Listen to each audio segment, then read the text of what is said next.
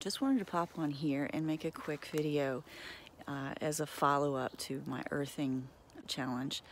I have been going now for 36 days, making it a point to get outside and just get my my feetsies on the earth and um, you know just walk around a little bit and make sure that I'm connecting. Um, earthing has a lot of benefits and I did make a video, um, my 365 day challenge to make sure that I get outside at least once a day.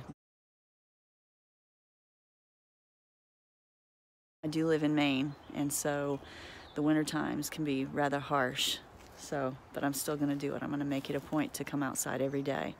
But I just really wanted to just touch base and um, update. And uh, I think that the biggest thing that I've noticed mostly is just connecting with the earth. Um, it's just like a special time every day just to come outside and and make it an intentional thing just to show appreciation and love for this beautiful planet that we live on.